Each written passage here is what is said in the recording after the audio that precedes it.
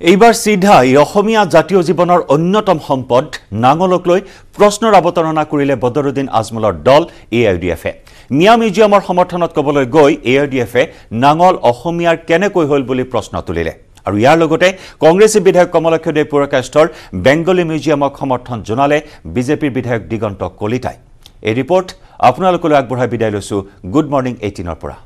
নমস্কাৰ। অসমীয়া সংস্কৃতিক লৈও এতিয়া ঘৃণনীয় ৰাজনীতি।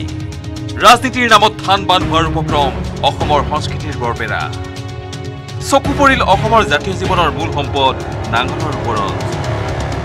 নাঙল লগাই ৰাখিলে পাঁচখন দহখন কৰিলে কি প্ৰব্লেমটো কি আছে মোক কওক মিয়া মিউজিয়াম পাতি তাত নাঙল থোৱাৰ পিছতেই মুখ্যমন্ত্ৰী হিমন্ত বিশ্ব শৰ্মাই তুলিছিল প্ৰশ্ন নাঙল মিয়াৰ কেনেকৈ হ'ল?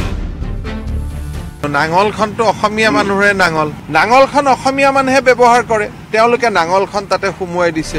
একেই প্ৰশ্ন তুলিলে ভৱানীপুৰীয়া বিধায়ক ফণীধৰ তালুকদাৰেও। এইবিলাক আচলতে পাগলৰ প্ৰভাৱ। ক'ত নাঙলখন ক'ত লুঙিখন মিউজিয়ামত থোৱাটো দেখা নাছিলোঁ। এইবিলাক হ'ল ভ্ৰম হৈছে। খেতি কৰোঁতেই নাঙলখন সৃষ্টি কৰিছিল। কোনো মিয়া বা হিন্দুৱে সৃষ্টি কৰা নাছিল। মানুহে সৃষ্টি কৰিছিল। সেইখন কোন মিয়াই সৃষ্টি কৰিলে? ক'ত মিয়া? এই মিয়াটো ক'ত? নাঙলৰ ওপৰত ভিত্তি কৰিয়েই গঢ় লৈ উঠিছে অসমৰ সভ্যতা সংস্কৃতিৰ ভেটি। মূলতঃ কৃষিয়েই হাজাৰ বছৰীয়া অসমীয়া সভ্যতাৰ চালিকা শক্তি।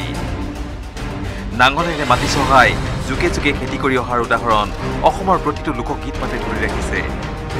অসমতে থাকি অসমৰ বতাহ পানী খাই এই নাঙল অসমীয়াৰ কেনেকৈ হ'ল বুলি প্ৰশ্ন তোলাৰ দুঃসাহস দেখুৱালে এ আই ডি এফৰ বিধায়ক কৰিমুদ্দিন বৰভূঞাই গোটেই ভাৰতৰ পাঞ্জাৱৰ মানুহ পাঞ্জাবী মানুহবিলাকে এই নাঙলটো ইউজ কৰে। হাৰিয়ানাৰ মানুহখিনিয়ে এই নাঙলটো ইউজ কৰে। বৰাকবেলীৰ বেংগলী মূলৰ মানুহখিনিয়ে ছেইম নাঙলটো ইউজ কৰে। বৰপেটাতো সেইখিনি কৰে দুবৃতো কৰে। ইভেন এছিয়ান কাণ্ট্ৰিৰ বহুত ঠাইত এই এই ছেইম নাঙল যোৱাবিলাক এইবিলাকে ইউজ কৰে। ইটো কোনোৱে ক'ব নোৱাৰে মিয়াই ক'ব নোৱাৰে এইটো মোৰ বস্তু। আৰু আমি ক'ব নোৱাৰো এইটো আমাৰ বস্তু। মিয়া মিউজিয়ামৰ সমৰ্থন দিবলৈ গৈ বিধায়ক কৰিমুদ্দিনে মুখ্যমন্ত্ৰীক এক প্ৰকাৰৰ প্ৰত্যাহ্বান দি ক'লে লণ্ডনত মিয়া মিউজিয়াম খুলিলে কোনে বন্ধ কৰিব? এজ ফৰ এক্সাম্পল বহুত মানুহ লণ্ডন আছে। লণ্ডনত যদি এখন মিয়া মিউজিয়াম খোলে আৰু এই বস্তুখিনি লগাই ৰাখে কাইলৈ ডুবাইত গৈ এখন যদি লগাই ৰাখে তেতিয়াহ'লে মিউজিয়াম এখন পাতে তেতিয়াহ'লে কি হ'ব?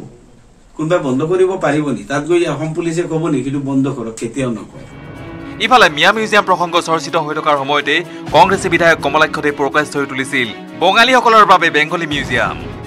কংগ্ৰেছী বিধায়ক কমলাক্ষৰ দাবীক সোমবাৰে সমৰ্থন জনাই বিজেপিৰ বিধায়ক দিগন্ত কলিতাই ক'লে বঙালীসকলে চৰকাৰক বেংগলী মিউজিয়াম বিচাৰি অনুৰোধ জনাওক। মিয়াৰ লগত বেংগলী মিউজিয়ামৰ তুলনাই নহয়। আমিতো কোৱা নাই বঙালী মিউজিয়াম নালাগে বুলি। আমি কৈছোঁ মিয়া মিউজিয়াম নালাগে।